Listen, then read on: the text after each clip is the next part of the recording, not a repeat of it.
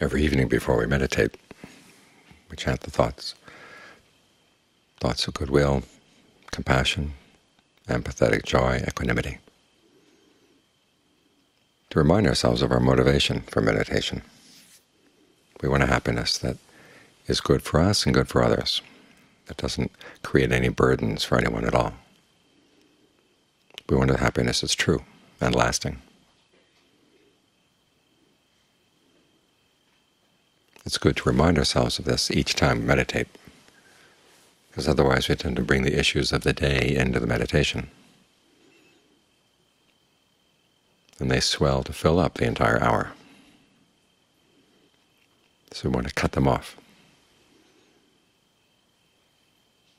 We think of all living beings everywhere. Get our minds around infinity for a little bit. So then when you start thinking about issues of the day, they seem awfully small. That allows the present moment to come to the fore, because the work we need to do to find the happiness we want is right here. Getting to know the mind in the present moment, to see how it moves, and when it moves, how it creates pleasure sometimes and how it creates pain other times, even though we want to create well-being with all our thoughts and all our actions. Still, we can end up creating a lot of suffering for ourselves and for others. So we need to watch the mind carefully. You have to watch it in the present moment. You can't watch it in the past or in the future. So the breath is our anchor. When you're with the breath, you know you're in the present moment. And the breath is very near to the mind. It's through the breath that we have a sense of a sense of the body. Because when we talk about breath here, it's not just the air coming in and out of the lungs, but it's the energy flow in the body that on one level allows the air to come in and out, and on more subtle levels animates the whole body. The sense that we have, it's called proprioception, our sense of the body we feel from within, starts with the movement of this energy. And that's where we want to get to know really well, because when we're there, we're very close to the mind. At the same time, we're stepped out of the mind a little bit, so we're not totally surrounded by thoughts. You've got a physical anchor here that allows you to step out of your thoughts. So try to get to know the breath. Watch it all the way in, watch it all the way out. It's good to start with a couple of good, long, deep in and out breaths both to energize the body and to get a sense of how the breathing feels in the different parts of the body, to make the breath obvious. And if long breathing feels good, deep breathing feels good, keep it up. If it doesn't feel good, you can change. Change the rhythm to shorter, more shallow, faster, slower, heavier, lighter. Try to find what kind of rhythm and texture of breathing feels good right now, and then see if you can stay with it. Notice where the sensation of the breath is most prominent. And think of holding that spot in your awareness, like a bowl full of water. If you move around too much, it'll disturb the water and it'll come splashing out. So try to keep things balanced and just right right here. And if you find yourself slipping off the breath, well, just get back on slip off again, just drop whatever thought it was that pulled you away, and you'll find yourself right back at the breath. When you come back, reward yourself with an especially gratifying breath, something that feels really good deep down inside.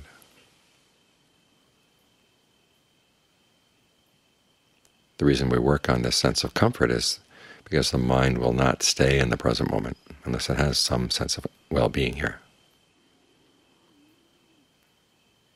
and the breath is the most responsive part of the body.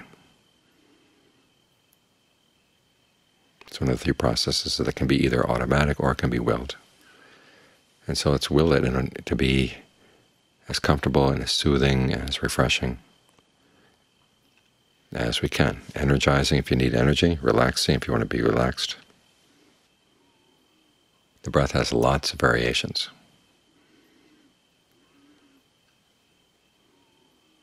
And as a meditation topic, it's one of the best because it's with you everywhere. You have a few moments here, a few moments there to be quiet. We can focus on the breath. And you find that you can get the breath so it feels really soothing, first in the torso, and then as you begin to become more sensitive to the other breath energies in the body. You can think of think that soothing, energizing, refreshing energy spreading out through your nervous system, down to the fingers, down to the toes, out to every pore. And you're sitting here surrounded by good energy. So as you go through the day and you're feeling frazzled, stop and take a breath break. One way of getting a sense of the more subtle energies in the body is to consciously relax the body, starting around the fingers, then moving up through the hands and the arms, and starting with the toes, moving up the legs, up your back, up the neck, up around the head. As you scan the body in this way, notice if there's any tension, and allow it to relax. Move up, and more tension, allow it to relax. In fact, sometimes if you're having trouble adjusting the breath or finding a breath that feels good, this is a good way to approach it. Drop the in and out breath for a minute and just go through the body and relax it. And then when you come back to the in and out breath, you'll find that it's found a rhythm that feels really good.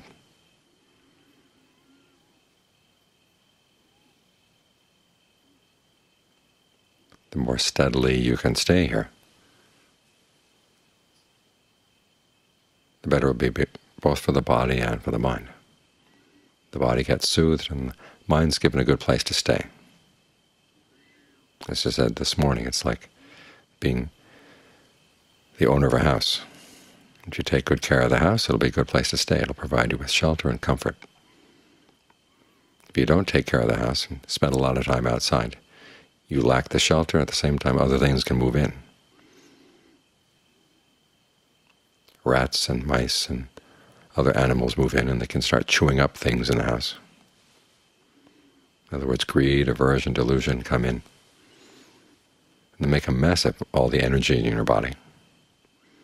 Then when you come back to the present moment, it doesn't feel good, so you leave again. It's like the owner coming back to the house and finding it full of all kinds of unpleasant animals and things. Rotting floorboards, broken pipes, you don't want to live there, so you leave again, but still you don't have any other shelter. What you've got to do is come in and clean up the house. Then you have a good place to stay. As the mind gets more at home here in the present moment, then you can watch the mind more directly.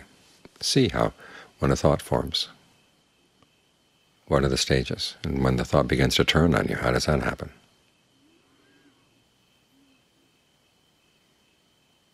you can step out of the process of thought formations and observe it as an outsider.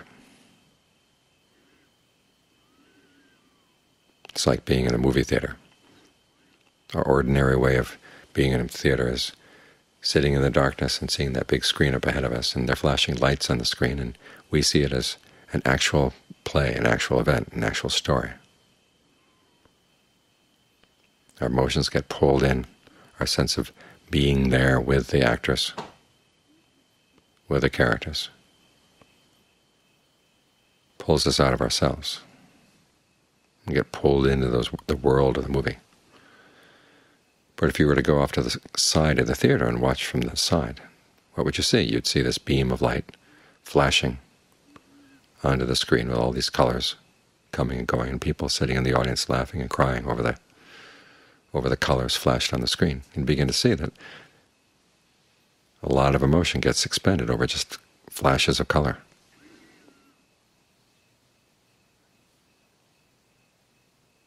It's the same in the mind. We're in our thought worlds. They have an awful lot of reality. But if you can pull off to the side and just watch the process, this is how a thought forms, a little stirring, right at the boundary between the body and the mind. At first it's hard to tell whether it's a physical stirring or a mental stirring, but then there's part of a mind that slaps a label on it, so well, this is a thought about this, and then you run with it. And you get into it.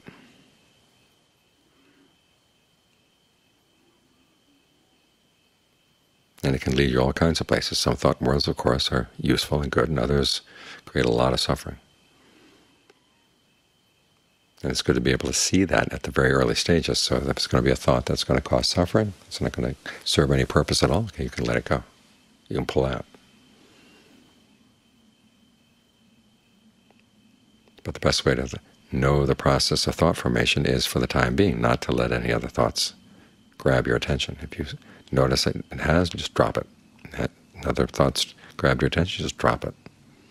Come back to the breath.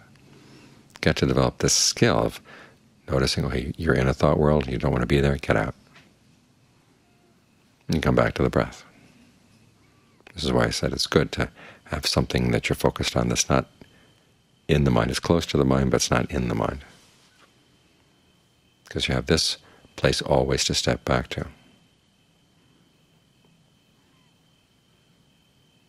So work on these skills, staying with the breath, pulling yourself out of any distracting thoughts,